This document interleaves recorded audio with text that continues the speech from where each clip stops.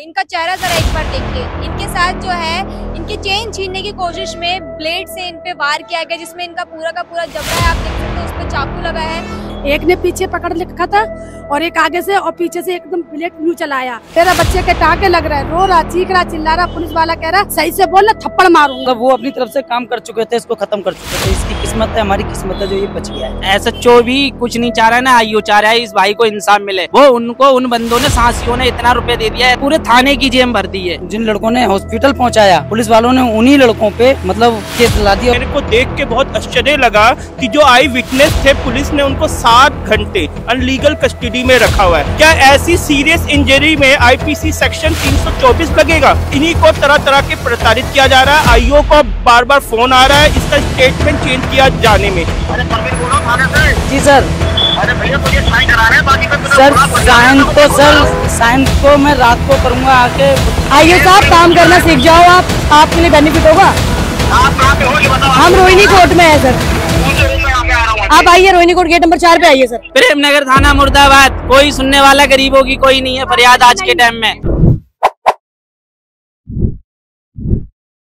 नमस्कार, आप देख रहे हैं झलको दिल्ली और बीते चार दिसंबर को एक बहुत ही ज़्यादा भयानक वारदात हुई है। आप ये देखिए, इनका इनका चेहरा जरा एक बार देखिए। इनके साथ जो है, इनके चेन छीनने की कोशिश में ब्लेड से इन पे वार किया गया, जिसमें इनका पूरा का पूरा जबड़ा है, आप देख सकते हो, उस पे चाकू लगा है और इनके आँखों के पास भी और इनके नाक पे पास भी जो है, उन्होंने ब्लेड से वार किया है। अब ऐसे में इनका जो केस है, वो कुछ उल्टा ही बन रहा है। बहुत ही अजीब सा केस बन रहा है। ये इसके बारे में भी हम आपको बताएँगे, लेकिन पहले इनसे बात कर लेते हैं कि आखिरकार ये वारदात कब हुई और कैसे हुई आखिरकार इसके पीछे का इस पे इसके पीछे का मोटिव क्या रहा था?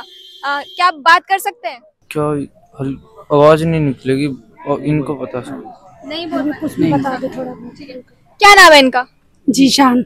जिशान। कहाँ कब हुआ था ये सब कुछ और कहाँ हुआ था? परसों था परसों परसों की रात में। कब का, का चार तारीख है कब? चार तारीख थी ना? चार तारीख। चार तारीख को हुआ है शाम को।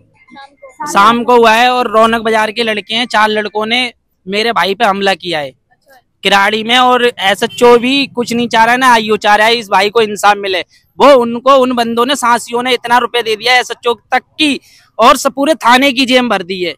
वो इंसाफ इस भाई को हमें इंसाफ दिलाना है बस। हुआ क्या था उस दिन? उस दिन ये हुआ था ये भाई पैसे लेने भेजा था। पापा ने इसके ये फादर हैं इसके इनने पैसे लेने बबलू भाई साहब की फैक्ट्री भेजा था।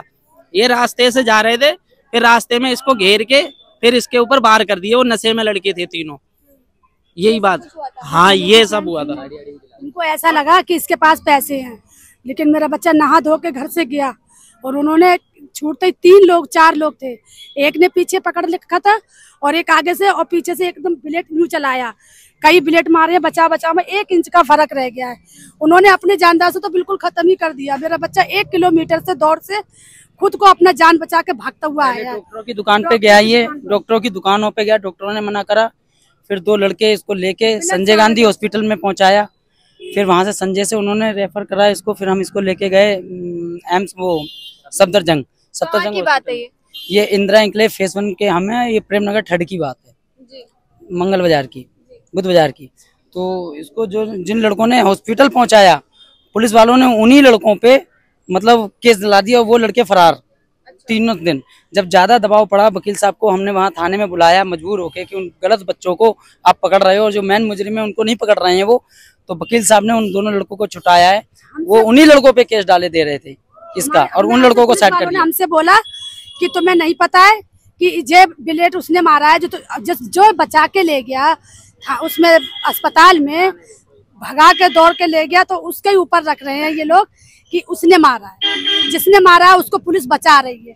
और मेरे बच्चे के टाके लग रहे हैं। रो रहा चीख रहा चिल्ला रहा पुलिस वाला कह रहा सही से बोल ना थप्पड़ मारूँगा। बताओ मेरे बच्चे को बोला है। ये सलूक है पुलिस का? आ, ये बोला मैंने मेरे को बेटे ने नहीं बताया। आप जो कल बताया मेरे को उसने कि पुलिस वाला कह रहा था सही से बोल नहीं तो थप्पड़ मारूँगा। बताओ ये कहाँ का ये इंसाफ हालत थी मैडम आप इसके फ़ोटोज़ देखेंगे कि बिल्कुल फ़ोटो कहाँ है वो? फ़ोटो दिखाना। उसमें है मोबाइल में।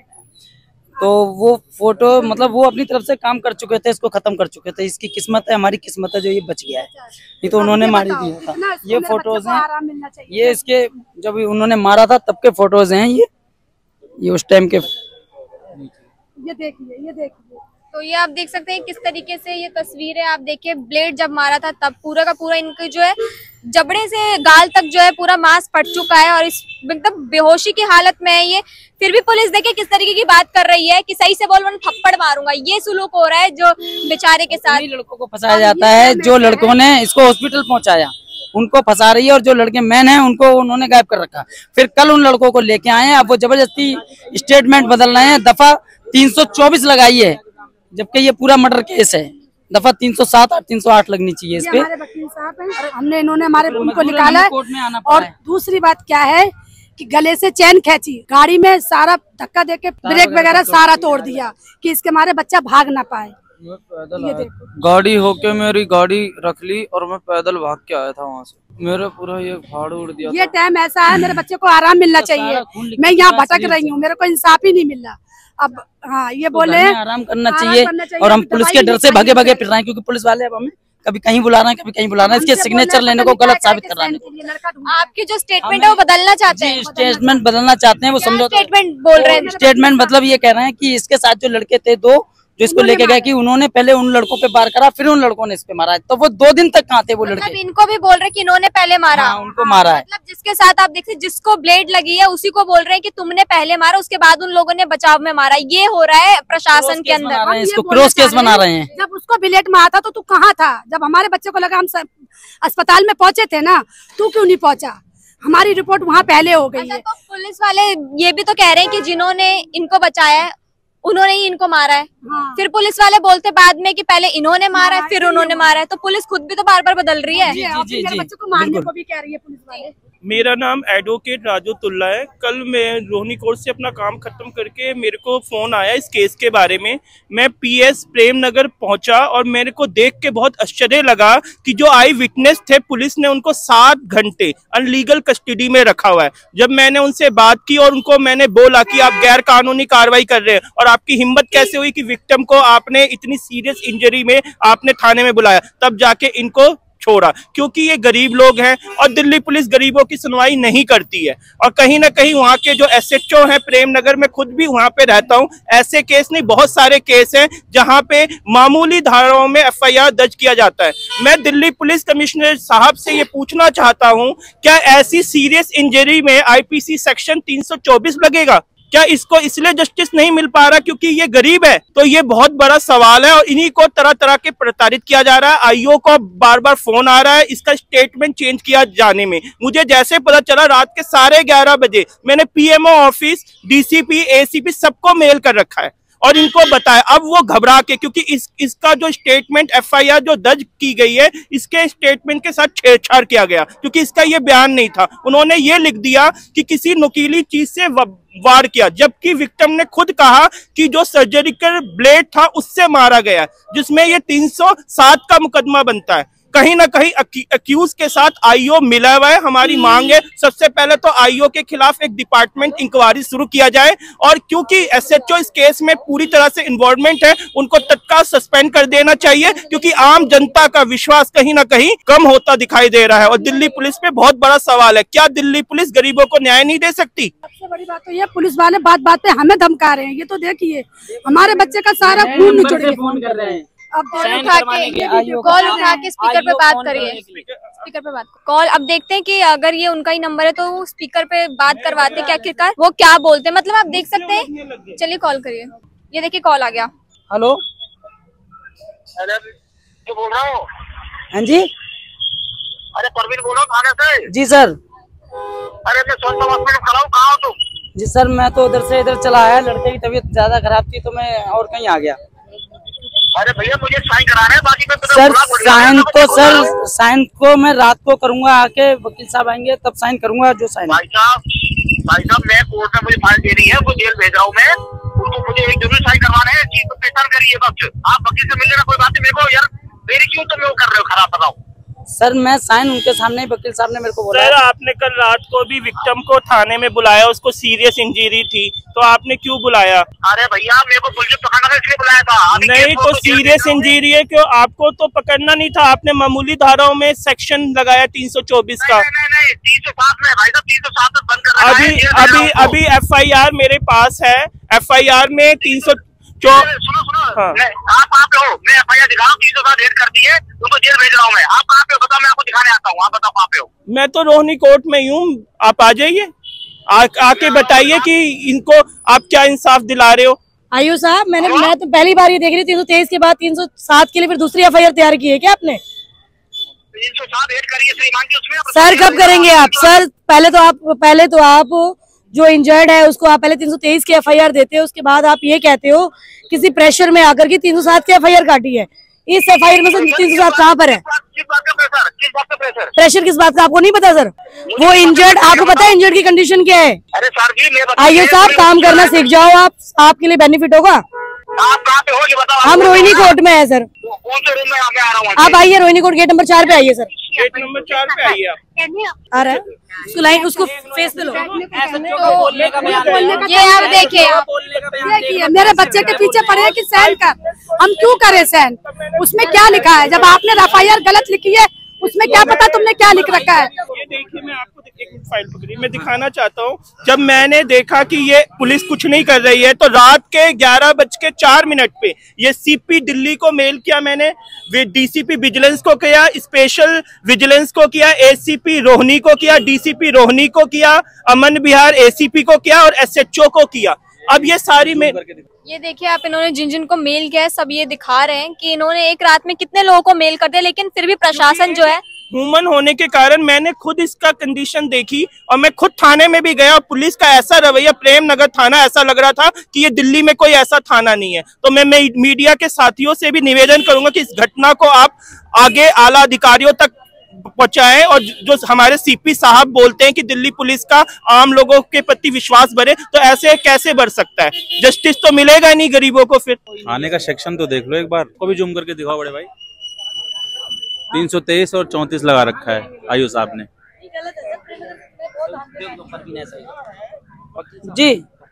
हाँ वकील साहब जी वकील हाँ साहब जी मैं हूँ। खबर में सर मैं आ रहा हूँ sir gate number gate number चार है। पे जहाँ से एडवोकेट एंट्री है गेट नंबर फोर वहीं आई आप मैं मेन गेट पर आ रहा हूँ मैं हाँ जी आए सर प्लीज़ भी आप ये देखिए कि किस तरीके से जो है बातचीत बातचीत हो रही है। पुलिस किस तरीके से जब घर वालों को इनके कॉल करते तो किस तरीके से बातचीत करते हैं? वहीं जब उनके साथ भी उसी रवैये से बात किया जाए तो अपने लाइन पर आ जाती है। पुलिस वाले ये बोल रहे थे जिस लड़के ने बचाया था उसको ये बोले, तेरी गलती ये है। पहले उसको जब ब्लेड मारा था तो तू हमारे पास लाता। हमको दिखाता पहले। इनसे ये पूछी जाए, जिसकी जान में पड़ गई है तो पहले वो हॉस्पिटल जाएगा या इनके पास जाएगा? उसके बाद मैंने पुलिस वालों से ये बोला, हम अब बैठे हैं। तुम हमारी अब नहीं सुन रहे हो। तो हमारा उस टाइम पे क्या सुनते? मेरा बच्चा अपनी जान बचा रहा था। तो तुम्हें हम ला के देते। ये मेरे को फ़ोन करके धमकाया गया। मैंने जब फ़ोन किया बोले आप तो अपने बच्चे को लिए क्यों फिर रही है? ये बोलने का तरीका है। जब मेरा बच्चा नहीं होश में था तो मैं क्यों ला जब उसको होश आया फिर हम लेकर आए। जब भी मैं लेकर आई हूँ एक बात बताइए जब मेरा बच्चा बेहोश है उससे कह रहा तू सैन दे। आज भी पीछे पड़ा हुआ है सैन करो किस लिए सैन करे? जब तुम मेरी एफ़ आई आर झूठी लिख रहे हो चैन छीनी वो भी नहीं लिखी। ठीक परस सीना वो भी नहीं लिखा। वो उसकी बाइक ही छीन ली वो भी नहीं लिखा। बताओ। तो आप देख सकते हैं कि किस तरीके से यहाँ पे पूरा का पूरा मामला आपने देखा होगा कि बिल्कुल प्रेम नगर थाने के जो पुलिस वगैरह है जो भी प्रशासन है वो कोई भी काम जो है वो ढंग से नहीं कर पा रही है। अब ऐसे में जो है इन परिवारजनों का आरोप है कि कोई भी काम जो है ढंग से नहीं हुआ है ना ही हमारे साथ इंसाफ किया जा रहा है। एफआईआर भी जो है वो दो दो लिख के गई है। प्रेम नगर थाना मुर्दाबाद कोई सुनने वाला गरीबों की कोई नहीं है फरियाद आज के टाइम में। सब अमीरों की फरियाद सुनते हैं वहाँ पर प्रेम नगर थाने में। में है। मेरे हिसाब से तो ना जब से वो थाना रखा गया है जब से गुंडागर्दी बढ़ी है। उस पुलिस वालों का क्या है? जिसकी तरफ़ से अटैची आ गया भारतीय नोट। ऐसा हमारे। तो आप देख सकते हैं कि पुलिस वाले भी जो है यहाँ पर आ गए हैं। अब उनकी जो कार्रवाई वहाँ पर होगी वो देखने लायक रहेगी। तो आप देख सकते हैं कि जब मैंने कमिश्नर ऑफ़ पुलिस को मेल किया इनके खिलाफ डिपार्टमेंट इंक्वायरी की बात की तब इन्होंने 307 लगाए। मैंने अभी आपको प्रूफ कर दिया है। और ये थाने का रवैया इतना खराब है कि कोई वकील साहब बड़े प्यार से अगर थाने में जाते हैं बात करने तो ये लोग सोचते हैं कि थाने के सारे हिटलर हम ही हैं। हम जो कुछ करेंगे हम ही करेंगे। क्या कार्रवाई होनी चाहिए? फिर क्या इंसाफ मिलना चाहिए? अभी जैसा कि मैंने रात को 300 मैंने सब जगह मेल किया आपको बताया पीएमओ अब ये प्रेशर में आके इन्होंने 307 आईपीसी सेक्शन लगाया है और अब उनको पेश कर रहे हैं तो आप मीडिया के दबाव के कारण और पूरे वकीलों के दबाव के कारण वो सेक्शन लगा दिया है, जो लगना चाहिए 307 इन्होंने दिखाया है। लेकिन कहीं ना कहीं इनकी इस मामले में बहुत बड़ी चूक है। आईओ को तो कम से कम बदला जाए, इनके ऊपर एक डिपार्टमेंट इंक्वायरी होनी चाहिए। प्रेशर में आने के बाद पुलिस ने जो है एफआईआर चेंज तो कर दी, धारा तो दूसरी लगा दी, लेकिन क्या इंसाफ मिल पाएगा या नहीं, ये बहुत बड़ा जो है एक सवाल है। इसके साथ आपकी क्या राय है, बताएँ ज़रूर और देखते रहें झलको दिल्ली मैं सिमरन रोहिणी डिस्ट्रिक्ट कोर्ट से